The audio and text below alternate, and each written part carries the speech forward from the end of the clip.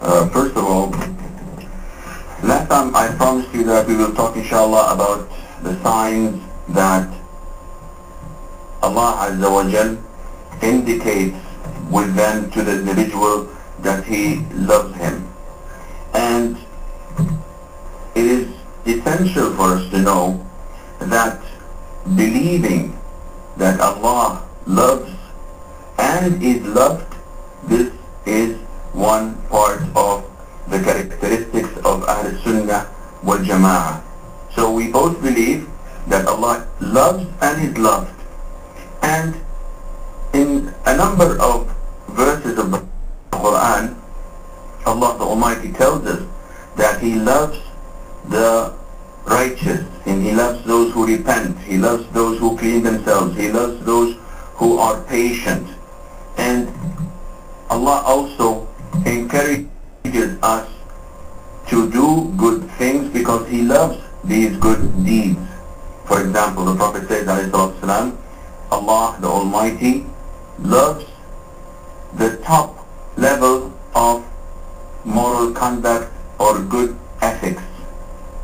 And also in the hadith, the Prophet tells us that Allah the Almighty does not encourage or endorse laziness and not doing what you have to do in the perfect manner. On the contrary, the Prophet tells us, Allah the Almighty loves that when an individual makes something that he perfects it.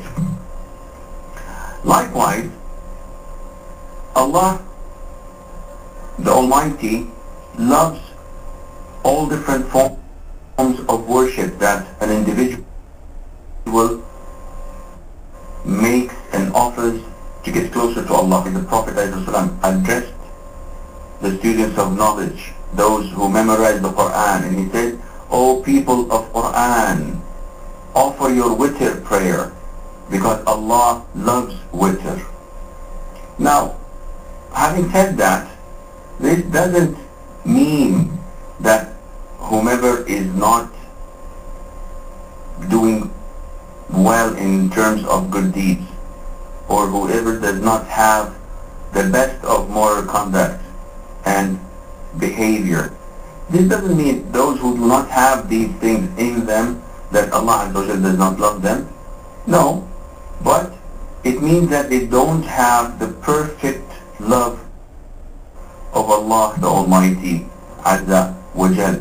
Because whoever has the full love of Allah which he limits to his righteous and pious servants, that is the full love.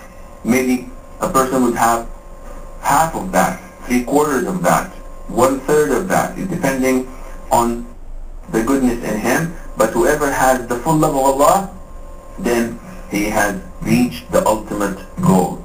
And there are signs, as scholars say, that an individual, once he finds one of these signs in him, this is an indication that Allah Azza wa Jal might love him.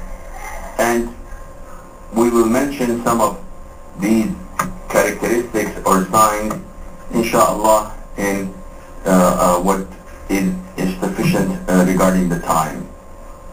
For example, the Prophet tells us, alayhi that Allah, the Almighty, protects His believing servant from the temptation of this dunya, of this world, of this life, while He loves him.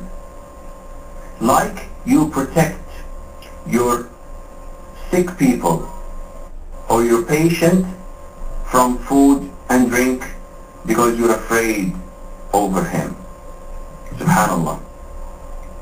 Contemplate on this hadith. The Prophet ﷺ is telling us that Allah protects his believing servant from this dunya while he loves him. Because Allah may protect someone without loving him. But his believing servant, Allah protects him while he loves him, which means that if he doesn't give him provisions, if he does not give him what he wants from this life, this does not mean that Allah does not love him. On the contrary, it means that Allah the Almighty loves him. And this is obvious if you look at the Prophet ﷺ and the servants of Allah the Almighty, you would find that Allah Azza wa Jal protected them from falling into the lusts and desires of this dunya. And He protected them from being polluted by its temptations so that their hearts would not be connected to the dunya and they would not love staying in this dunya. And this is not an indication at all that whenever Allah the Almighty loves an individual, He would make him rich, and whenever He does not live, uh, love an individual, He would make him poor. It is not an indication at all, because it is not an indication of Allah's love and hatred to an individual to make him rich or poor. What is meant is that Allah protects him from being connected to this dunya. And Allah diverts his heart from loving this world and from being occupied by this world. And you can take as an example the case of a person who buys a Ferrari, for example, for hundreds of thousands of euros or dollars, and he pays it without even blinking. But when he is asked to donate money for the cause of Allah, he pays a hundred euros or 50 euros while his heart is being ripped apart, subhanallah. This is an indication that this person is not loved by Allah because there were lots of rich companions of the Prophet ﷺ. However, the dunya and the love of this life was not in their hearts. It was in their hands. And that is why whenever they were requested to spend, they would give without any account. They would give generously because the dunya was in their hands. They throw it right, left and center and without having any hesitation, unlike those who are connected to this life.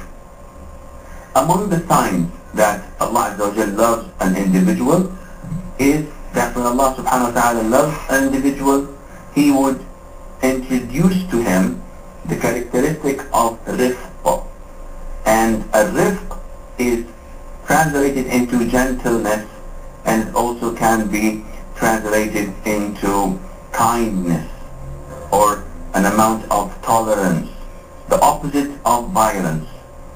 So Prophet tells us, if Allah loves a household, if Allah loves a family, He would introduce to them kindness. So this is a, a clear indication. When you see a man being kind, tolerant, lean with all the people, and especially with his wife and kids and family. If you find someone like this, then you should know that this is a sign of Allah's love to him. So many times we hear people being abusive, being insultive. They insult their wives. And they do this deliberately in front of their children. And some of them, they do this in front of their wives' families, just to humiliate them and insult them. Allah, this is a sign that this person is not loved by Allah the Almighty because he did not introduce kindness and gentleness into his heart. You should always respect your wife.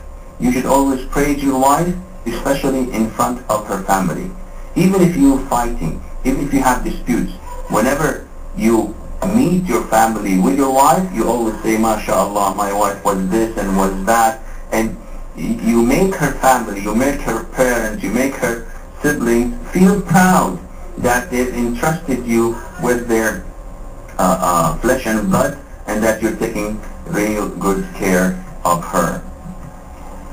Among the signs that Allah loves an individual is that you find people respecting and loving this individual as well.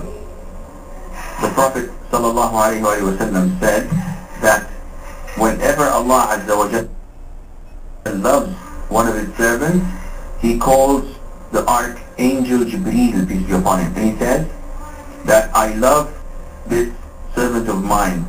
So Jibreel, you too love him. So Jibreel loves him. And then he calls in the heavens and he says that Allah the Almighty loves his servant so and so, you must love him as well. So all the angels, all the inhabitants of the heavens love this individual. The Prophet says, and then acceptance is laid for him on earth. What is the meaning of acceptance is laid for him on earth? Meaning that you would find people liking this guy, loving this guy, respecting this guy or this woman because of the acceptance that Allah Azza has placed for them on earth. And do not be fooled or confused because what counts is the love and respect of the people of religion, of the righteous and pious people. These people, their love is an indication that Allah loves this individual. Why do we say this? Well, it's very simple. Because if you nowadays look at someone who is sinful and a caller for innovation, for example, if you see one of them actors or actresses or a singer or an entertainer, all of these people are sinful. Yet you find millions of people love them and call their names in respect and in devotion and in love as well.